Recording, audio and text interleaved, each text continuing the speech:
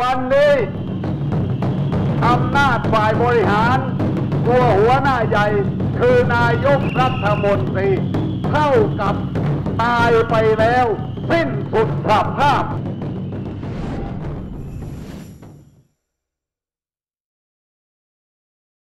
Last week, after more than five months of anti government protests demanding for the now former Prime Minister Yingluck Shinawatra to step down, The protesters' wish came true. Yingluck was ousted by the Constitutional Court for abuse of power. A new caretaker prime minister from Yingluck's Pheu Thai party was appointed to replace her.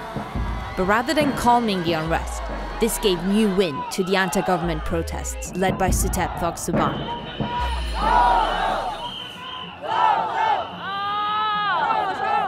รักษาการรองนายกรัฐมนตรี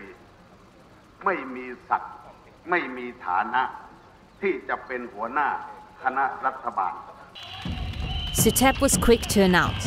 that the anti-government protesters, the PDRC, won't stop fighting until Yingluck's entire cabinet steps down. The PDRC are accused of being undemocratic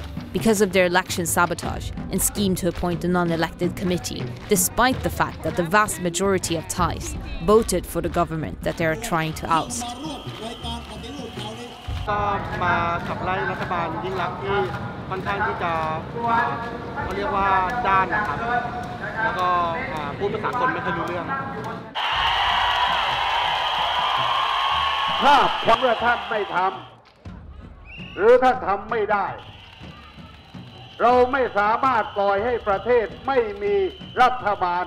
อย่างนี้ต่อไปได้ เพราะฉะนั้นเมื่อเลยวันจันทร์ไปแล้ว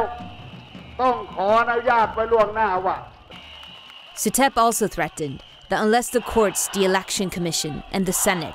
did not nominate an interim government and a new prime minister within a day, the PDRC would take matters into their own hands.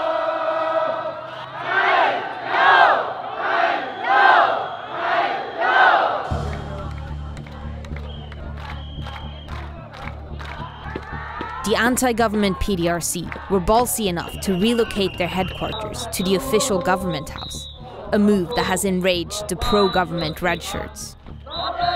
ดังนั้นสิ่งที่เรามากันในวันนี้ก็คือเราต้องการจะบอกว่าคณะคณะรัฐมนตรีทำไม่ได้แล้วที่นี่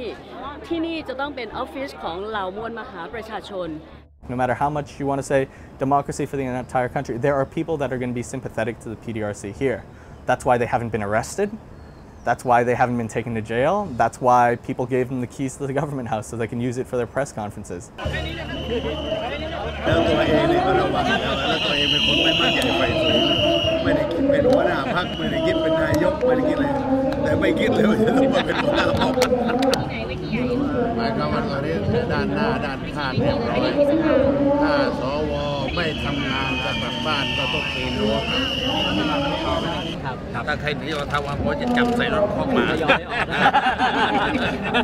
You would think the Thai authorities would take the PDRC's threat with a pinch of salt. Surprisingly, Suthep was invited to Parliament on Monday to speak to the Senate, which shows how much support the PDRC has within the political halls of power.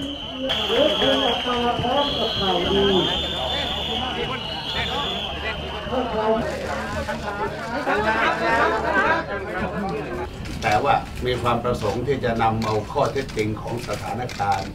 ความคาดหวังของประชาชนที่มีต่อวุฒิสภามากราบเรียนกันให้ทราบและถ้าหากเป็นไปได้ก็อาจจะได้มีการแลกเปลี่ยนความคิดความเห็นกันบ้างก็สุดแล้วแต่ท่านประธานและท่านคณะกรรมการ ของวุฒิสภาจะพิจารณาสมควร The significance of Yingluck's overthrow in the long run doesn't actually matter that much if nothing happens extrajudicially or even judicially after this point. However, if Yingluck gets overthrown and the rest of the cabinet somehow get taken out or they resign, that's going to lead to some serious confrontation. The worst part about all of this is that it wasn't that much of an abuse of power or negligence or whatever the charges were against her. It just seems that the apparatus behind the anti-government protesters and the, the powers vested within the system seem to be willing to do anything within their reach to get rid of this government. And that just sets a really bad precedence for the future. It's a to you.